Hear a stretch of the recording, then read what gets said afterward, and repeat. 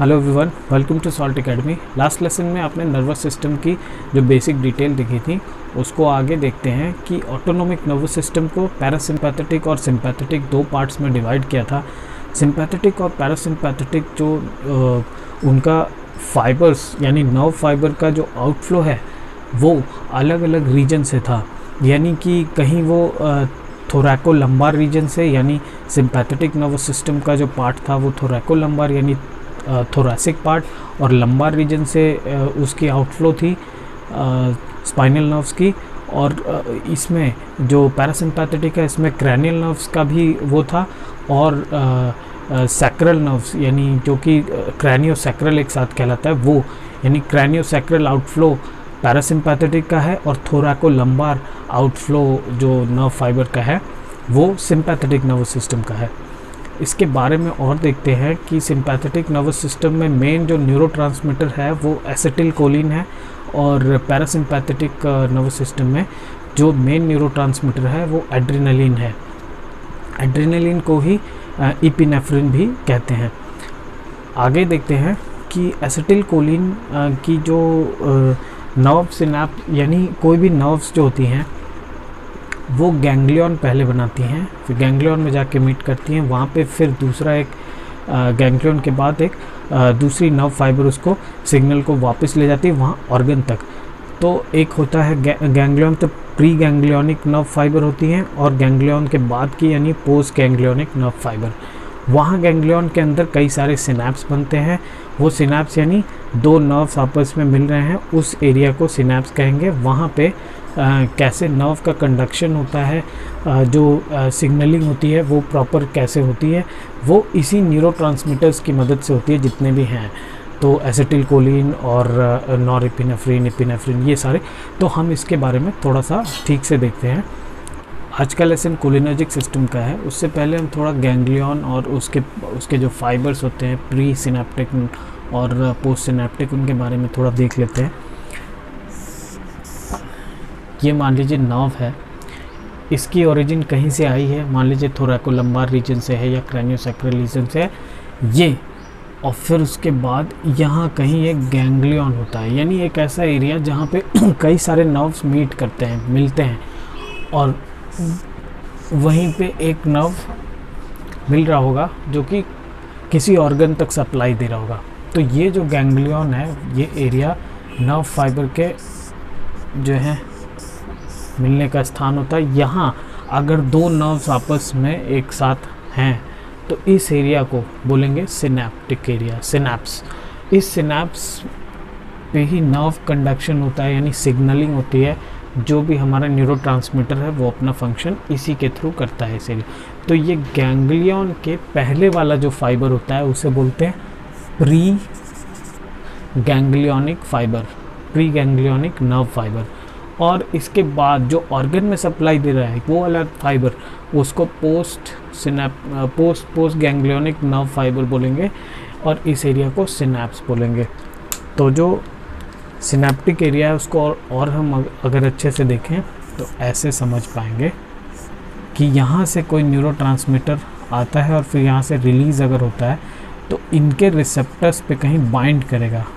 उसके बाद वो अपना एक्शन प्रोड्यूस करेगा। ये जो पूरा एरिया मैंने रेड सर्कल से वो किया है, इसे सिनेप्स बोलते हैं, यानी दो नर्व्स एंडिंग यहाँ मीट कर रही हैं। अब, इसमें जो प्री सिनेप्टिक नर्व फाइबर है, यानी ये ऊपर वाला, ये प्री सिनेप्टिक नर्व फाइबर है, इसी में एसिटिल कोलिन का फॉर्मेशन होगा, और फिर उसके बाद स्टोरेज होगा स्टोरेज के बाद उसका रिलीज़ होगा, और फिर वो रिसेप्टर्स पे बाइंड करके अपना एक्शन प्रोड्यूस करेगा। उसको हम देखते हैं कि एसिटिल कोलिन का जो फॉर्मेशन होता है, वो कोलिन से होगा। और कोलिन कैसे आएगा? कोलिन बाहर के एरिया से नर्व एक्स्ट्रा सेलुलर स्पेस से अंदर आएगा। पर आएगा कैसे वो? सोडियम चैनल की मदद से आएगा। सोडियम चैनल की हेल्प से ये एंट्री लेगा कोलिन और फिर ये एसिटिल कोलिन एसिटिल को एंजाइम ए से मिलके एसिटिल कोलिन बनाएगा। एसिटिल कोलिन जो है, अब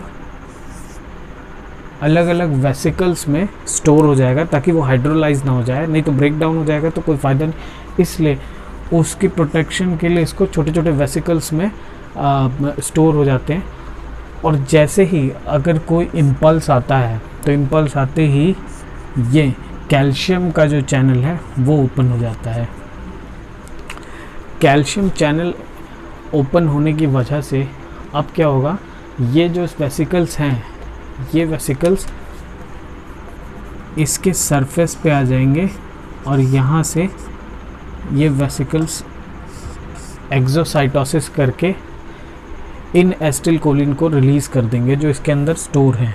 अब ये एस्टिल कोलिन रिलीज़ होने के बाद जो पोस्ट सिनेप्टिक जो पोस्ट गैंग्लियोनिक नर्व फाइबर यानी जो ये वाला पार्ट है, दूसरे नर्व का, उसके रिसेप्टर्स पे बाइंड कर जाएगा। उसके रिसेप्टर्स पे उसके रिसेप्टर निकोटिनिक और मस्कैरिनिक दोनों रिसेप्टर्स हो सकते हैं। अभी उसके बारे में भी देखते हैं। तो एसिटिल कोलिन यहाँ बाइंड होने के बाद अपना एक्शन प्रोड्यूस करेगा। लेकिन ऐसा नहीं है कि एसिटिल कोलिन रिलीज़ होता रहेगा, उसकी रिलीज़ इनहिबिट भी हो सकती है, क्योंकि इसी जो प्री गैंग्लियोनिक नर्व फाइबर ये खुद के जो रिसेप्टर्स हैं इसके, यहाँ पे भी अगर बाइंड हो जाता है तो यहाँ इसका इनिबिशन हो जाएगा। ये यहीं से ये बंद हो जाएगा। और फिर इस, इसकी जो पूरी स्टेप है, वो सिक्स स्टेप्स में होती है, ये पूरी प्रोसेस यानी इसका इनटेक होना और फिर उसके बाद एस्टिल कोलिन का फॉर्मेशन फिर स्टोरेज फिर रिलीज़ और फिर बाइंडिंग और फिर उसके बाद फाइनली उसका जो है फीडबैक होने की वजह से वो ये वाला चैनल भी बंद हो जाता है। तो ये पूरी प्रोसेस जो है, इसका रिसाइकलिंग होती है एस्टिल कोलिन की। तो ये ये कोलिन में टूटता है है ना? तो इस तरह से ये पूरा फॉर्मेशन होता है और यहाँ से जो नर्व का कंडक्शन होता है, यहीं से ऐसे होता है। तो ये रिसेप्टर्स के थ्रू होता है। तो there are two types of cholinergic receptors एक होता है निकोटेनिक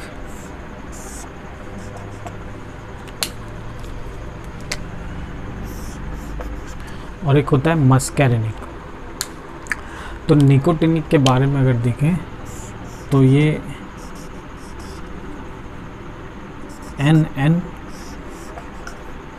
और एन एम दो टाइप का होता है।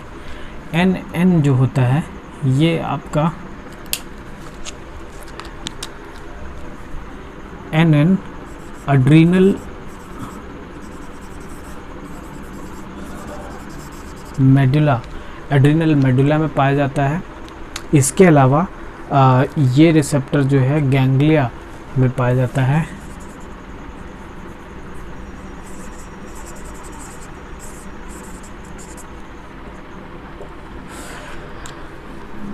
और ये वाला receptor N M N M जो है neuro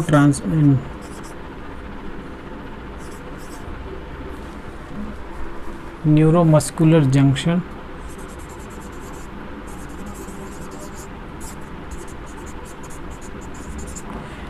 N M neuro neuromuscular junction यानी निकोटिनिक रिसेप्टर्स जो हैं, दो टाइप के हैं। एक न्यूरोमस्कुलर जंक्शन पे पाया जाता है और एक अड्रीनल मेडुला और गैंग गैंग्लिया पे। इसके अलावा जो है, एक अलग से मस्कैरिनिक रिसेप्टर जो बहुत ही इम्पोर्टेंट है, इसको देखें तो ये फाइव टाइप्स के होते हैं।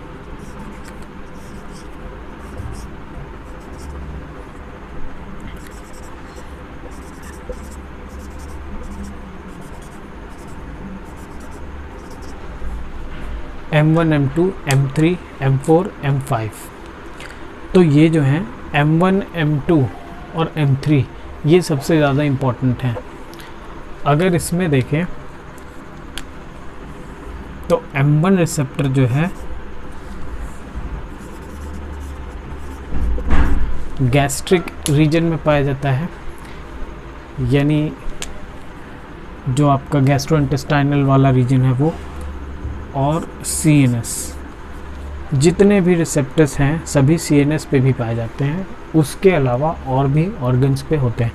तो M1 जो है गैस्ट्रिक रीजन M2 जो है हार्ट हार्ट के रीजन में पाया जाता है, हार्ट के अंदर। और M3 इसके अलावा जो हार्ट और गैस्ट्रिक रीजन के अलावा जितने बचे हुए ऑर्गन्स हैं, उन पे पाया जाता है। जैसे आई हो गया या किसी ग्लैंड पे, इस तरह की चीज़ों पे ये M3 पाया जाता है। एम फोर एम फाइव जो है सी एन एस में पाया जाता है। तो अगर इसको, इसके मस्कैरिनिक रिसेप्टर्स के याद करने को, अगर ठीक से याद करने के लिए कोई एक वो बना लें तो ऐसे आप याद कर सकते हैं इसको। कि पहले पहले पेट भरो फिर दिल लगाओ और बाकी काम बाद में। यानी M one first gastric region यानी पहले पेट भरो फिर एम टू यानी हार्ट यानी दिल लगाओ और फिर जो M3 है उसमें बाकी के जितने ऑर्गन्स हैं उसके रिसेप्टर्स आ जाएँगे उसमें जो आ, उस उस लोकेशन पे जो पाए जाएँगे उन लोकेशंस पे M3 पाए जाएँगे। इसके M4 और M5 के CNS में पाए जाएँगे। तो ये एक थोड़ा सा निमोनिक था। बाकी ये ये दो मेन इंपॉर्टेंट रिसेप्टर्स हैं निकोटिनिक और मस्कैरिनिक कोलिनर्जिक रिसेप्टर्स के अंदर। सिंपैथेटिक और पैरासिम्पैथेटिक नर्वस सिस्टम में इनिबिटरी और एक्साइटेटरी जो एक्शन होते हैं, वो एक दूसरे के ऑपोजिट ही होते हैं। जैसे मस्कैरिनिक एक्शन यानी कोलिनर्जिक सिस्टम में जो कि एस्टिल कोलिन से न्यूरोट्रांसमीटर से गवर्न होता है, वो जो भी सिस्टम है जो अभी हम पढ़ रहे हैं कोलिनर्जिक सिस्टम उसमें लगभग लगभग सभी ऑर्गन्स में एक्साइटेटरी इफ़ेक्ट पैदा होंगे। यानी स्टिमुलेशन कॉज होगा। जो जो जो रिएक्शंस हैं उन, उनकी लेवल जो है इंक्रीज हो जाएगी। यानी एक्साइटेशन इफ़ेक्ट आएगा सभी ऑर्गन्स पे एक्सेप्ट हार्ट और एड्रेनर्जिक में इसी का पूरे का उल्टा होगा। कोलिनर्जिक सिस्टम का उल्टा एड्रेनर्जिक सिस्टम में होगा। यानी वहाँ वो इनिबिटरी एक्शन रोल प्ले करेगा एक्सेप्ट हार्ट हार्ट में वो जो है आपका एलिवेट करेगा। यानी एक्साइटेटरी इफ़ेक्ट हार्ट में शो करेगा सिंपैथेटिक सिस्टम यानी एड्रेनर्जिक सिस्टम और जो अभी हम पढ़ रहे हैं कोलिनर्जिक सिस्टम वो एक्साइटेशन कॉज करेगा सभी ऑर्गन्स में। तो अगर इसको हम ठीक से देखें तो हार्ट में जो कोलिनर्जिक सिस्टम है यानी मस्कैरिनिक एक्शन जो आज का टॉपिक है, वो क्रोनोट्रॉपिक इफ़ेक्ट पैदा करेगा, यानी हार्ट रेट जो है वो इंक्री डिक्रीज़ कर देगा इनिबिट करेगा इसके एक्शन को। और एक ड्रोनोट्रॉपिक इफ़ेक्ट आता है जिसका इसमें जो कंडक्शन होता है जो वो वो वो भी रिड्यूस हो जाएगा। तो हार्ट का इनिबिटरी एक्शन मस्कैरिनिक एक्शन से होता है। जबकि सिंपैथेटिक वाले में ये तो पैरासिम्पैथेटिक है। सिंपैथेटिक सिस्टम यानी एड्रेनर्जिक सिस्टम में हार्ट में एक्साइटेशन हो जाएगा। उसी का उल्टा हो जाएगा, नहीं हार्ट रेट बढ़ जाएगी। अब आई पे आते हैं तो इसके हार्ट के अलावा सभी ऑर्गन्स पे जो स्टिमुलेशन कॉज होगा, यानी एक्साइटेटरी इफ़ेक्ट आएगा तो आई को अगर देखें तो इसमें एक्साइटेशन होगा तो यहाँ क्या होगा, जो सिलेरी मसल्स है, उसका कॉन्ट्रैक्शन होगा, है ना? कॉन्ट्रैक्शन ऑफ़ सिलियरी मसल्स और ग्लैंड्स ग्लैंड्स जितनी भी होंगी सभी सभी में एक्साइटेशन होगा, जिसकी वजह से क्या होगा सेक्रीशन बढ़ जाएगा। इंक्रीज इन सेक्रीशन सेक्रीशन किस फॉर्म में होगा? लेक्राइमल फॉर्म यानी आपके आँसू बहुत तेज़ी से निकल सकते हैं, या स्वेटिंग स्वेट आपको ज़्यादा हो सकती हैं ग्लैंड्स के थ्रू और इसके अलावा जितने भी ग्लैंड्स की सेक्रीशन है, वो बढ़ जाती हैं। जीआईटी में अगर देखें तो गैस्ट्रो इंटेस्टाइनल ट्रैक्ट में जो गैस्ट्रिक जो जो सेल्स होती हैं जो जो एचसीएल को प्रोड्यूस करती हैं वो वो बढ़ जाएँगी। तो यानी उसकी वजह से क्या होगा कि एचसीएल का सेक्रीशन बढ़ जाएगा। एचसीएल के सेक्रीशन राइज होने की वजह से पेप्टिक अल्सर के चांसेस बढ़ जाते हैं। ब्रोंकस में देखते हैं इसमें ब्रोंको कंस्ट्रक्शन होता है आ, जो कि आपका एक नेगेटिव इफ़ेक्ट है। तो ब्रोंको कंस्ट्रक्शन यानी यहाँ पे एक्साइटेशन हो रहा है तो ब्रोंको कंस्ट्रक्शन हो रहा है। इसमें male organ male sex organ जो होता है वो इरेक्टाइल हो जाता है। मेल सेक्स ऑर्गन यहाँ भी एक्साइटेशन इफ़ेक्ट पैदा होगा।